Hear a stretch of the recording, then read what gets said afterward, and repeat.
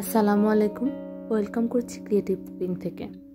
আমরা আমাদের প্রতিদিনের খাদ্য তালিকায় রুটি একবেলা হলেও খাওয়ার ট্রাই করি। আর এই রুটি প্রতিদিন বানানোটা অনেক ঝামেলার ব্যাপার। আমি আজকে আপনাদেরকে তৈরি নরম ও ফুলকো রুটি বানানো এবং তার সংরক্ষণ পদ্ধতি। চলুন কথা না বাড়িয়ে শুরু করা যাক। প্রথমে একটি হাঁড়িতে দেড় কাপ মতো পানি দিয়ে দিলাম। সাথে ওয়ান ফোর্থ চা চামচ লবণ দিলাম। আর হাফ চা চামচের মতো সয়াবিন তেল দিয়ে দিলাম।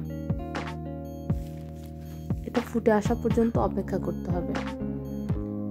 এভাবে যখন পানি ফুটতে শুরু করবে, এ পর্যায়ে রিফাইন করা আটা দিয়ে দিলাম দুই কাপ পরিমাণ। এটাকে ভালোভাবে নেড়ে দিতে হবে।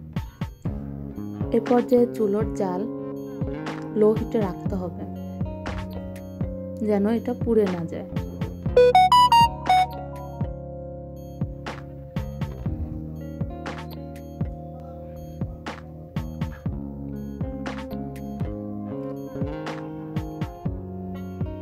এটাকে ভালোভাবে নেড়ে চেড়ে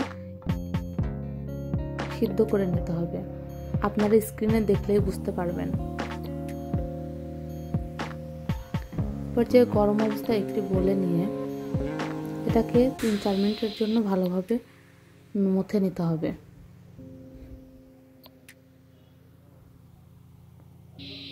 এটা বলার আসলে কিছুই নেই।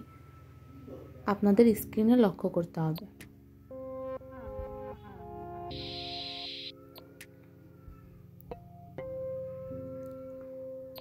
পর্যায়ে এটা হাতের মধ্যে প্রেস করে করে এভাবে লম্বা লেচি করে নিতে হবে।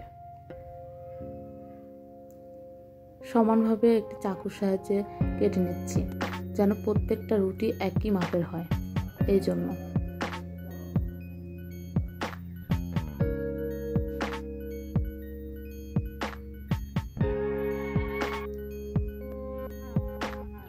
প্রত্যেকটা লেচি এভাবে গোল করে নিতে হবে। তাহলে রুটি বানাতে গেলে কোনো অসুবিধা হবে না।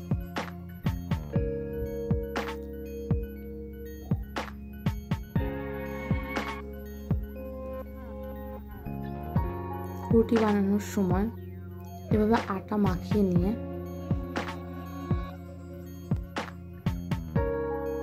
ঘুরিয়ে ঘুরিয়ে এভাবে বড় একটা রুটি বানিয়ে নিতে হবে।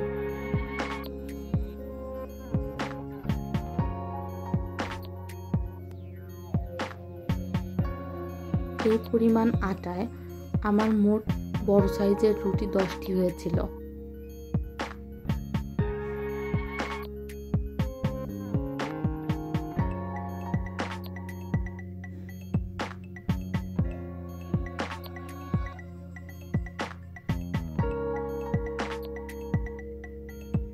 রুটির পুরুত্ব ঠিক এমন হবে। একটু পাতলা সাইজের। এবারে আমি রুটি ভাজতে চলে গেলাম। প্রথমে আমি ফ্রোজেন রুটি ছেঁকে দেখাবো।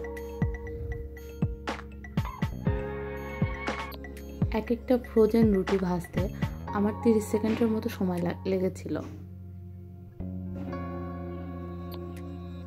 রুটিটা ফুলতে দেওয়া যাবে না। হালকা সাদা সাদা হবে, এমন অবস্থায় উঠিয়ে নিতে হবে। আরও একটি রুটি আপনাদেরকে আমি ছেঁকে দেখিয়ে দিচ্ছি।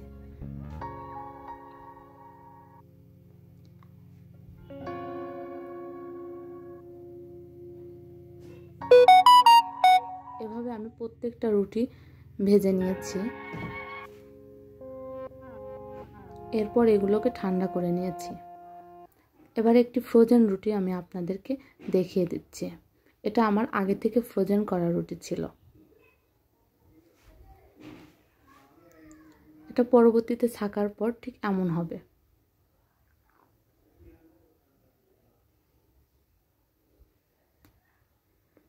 ফ্রোজেন রুটিটাও অনেক বেশি ফুলে আর অনেক বেশি সফটও হয়। আপনাদের টেনশনের কোনো কারণ নেই।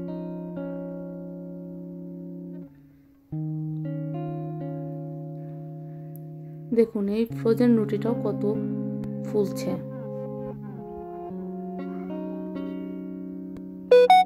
ফ্রোজেন করার পর এক একটা রুটি ভাজতে দুই মিনিটের মতো সময় লাগে।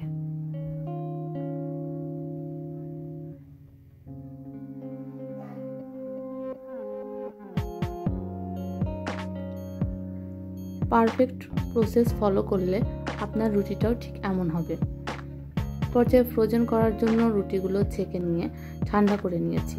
এবার একটি এয়ারটাইট বক্সে এটা একটি রুটির বক্স একটি টিস্যু দিয়ে, এরপর রুটিগুলো দিয়ে আরও একটি টিস্যু দিয়ে ঢেকে দিয়ে আমি নর্মালে রেখে দেব। এটা নর্মালে রেখে সাত দিনের মতো খাওয়া যাবে। এবারে আমি রুটি ভেজে দেখিয়ে দিচ্ছি।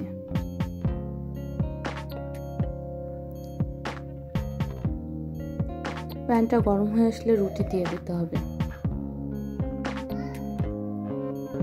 রুটি যখন হালকা ফোলা ফোলা ভাব ধরবে, তখন রুটি উল্টে দিতে হবে। বলে বোঝানোর কিছু নেই। আপনাদের স্ক্রিনে ভালোভাবে লক্ষ্য করতে হবে। এভাবে যখন ফুলে উঠবে, তখন আরও একবার উল্টে দিতে হবে। মোট তিনবারে রুটি উল্টিয়ে পাল্টিয়ে ছেঁকে নিতে হবে। দেখুন, রুটিটা কত বেশি ফুলছে আর অনেক সফট হয়েছিল। এ পর্যায়ে উঠিয়ে নিতে হবে। এবারে আমি আরও একটি রুটি ভেজে দেখিয়ে দিচ্ছি। রুটি ভেজে নেওয়ার সময় চুলার জালটা মিডিয়াম টু হাই হিটে রাখতে হবে। এক একটা রুটি হতে প্রায় এক থেকে দেড় মিনিটের মতো সময় লাগবে।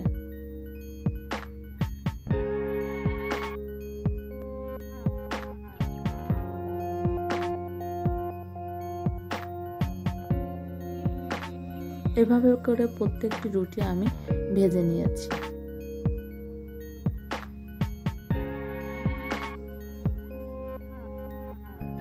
এবার চলুন পরিবেশন করে দেখিয়ে দিই।